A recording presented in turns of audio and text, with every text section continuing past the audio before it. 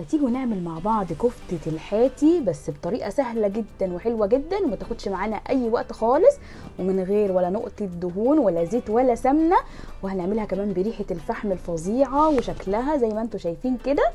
وهنعملها كمان على البوتاجاز. هنجيب نص كيلو من اللحمة المفرومة وهنبتدي نحط عليه كيس من توابل الكفتة كيس كامل كده بالشكل ده.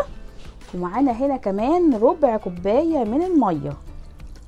بالشكل ده. بقين كده من المية. وهنبتدي إن إحنا نخلطهم ببعض بقى كويس قوي. مفيش أسهل من كده. ما تاخدش معانا أي حاجة خالص.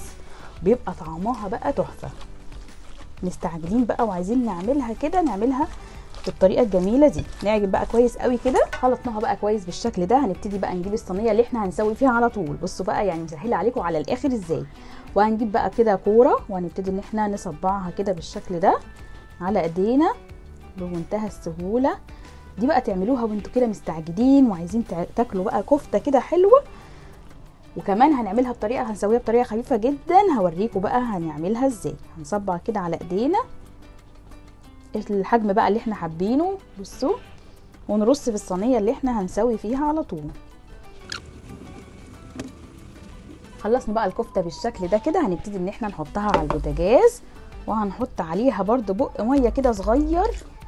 وهنغطي عليها ونسيبها لحد ما تسخن. وإيه؟ و... وتاخد كده لون من تحت. ما, نب... ما نشيلش خالص ما نحاولش نقلبها دلوقتي خالص ولا بعد شوية لحد بس ما تاخد طبقة من تحت. هتلاقيها بتتقلب لوحدها. تعالوا بقى نشوفها عاملة إزاي بقى دلوقتي. بصوا ابتدت بقى تنزل المية بتاعتها كده وابتدت دلوقتي ممكن إن إحنا نقلبها. هنسيبها بقى كده لحد ما تستوي بقى من تحت وتبتدي والمية دي كلها بقى تنشف.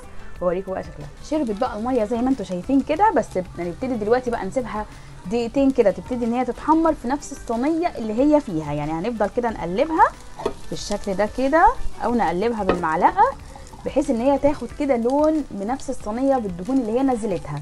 زي ما أنتم شفتوا ما حطيناش فيها أي نوع من الدهون خالص. كفاية الدهون اللي هي فيها. بتنزلها وكمان بنحمرها فيها. خدت بقى اللون معانا خلاص بقى نبتدي إن إحنا نطلعها بقى على الطبق الجميل بتاعنا اللي هنقدم فيه. نحطها بقى بشكل حلو كده. شايفين شكلها؟ واخدة لون بقى كأنها مشوية بقى كده وهي ولا دخلناها فرن ولا حطينا لها أي حاجة آه مادة دهنية. بالشكل اللي أنتوا شايفينه ده آخر حاجة بقى هنعملها هنحط بقى الفحميه الجميله هنحط بس حتة فويل كده في النص وهنحط عليها الفحماية. وهنبتدي إن إحنا بقى نجيب إيه ورقة كده فويل نجهزها جنبنا ونجهز الزيت في إيدينا. هنحط بقى نقطتين الزيت على الفحمه كده بالشكل ده. شايفين بقى؟ الريحة يا جماعة بقى مش قادرة أوصف لكم. ونغطيها بقى بالفويل بالشكل ده كده ونسيبها خمس دقايق كده تاخد من الريحة الجميلة. وبعدين نقدمها على طول.